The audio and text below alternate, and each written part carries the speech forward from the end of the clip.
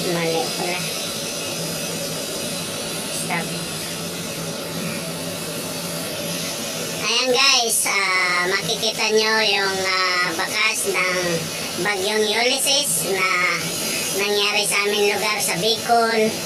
At ah, makikita nyo rin sa ibang panig ng ating bansa sa Pilipinas, sa Cagayan. At ah, patuloy lang tayong ah, mag-ingat at sa ating mga ginagawa, yung ah, pag-repair ng ating mga bahay at patuloy rin po tayo mag-ingat sa baha. Lagi maghugas ng paa upang maiwasan ang mga sakit na dala ng baha.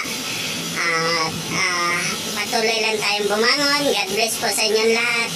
At ah, salamat sa panonood sa ah, video ito na i-share ko. Don't forget to like, share, at lalong-lalo na po i-subscribe.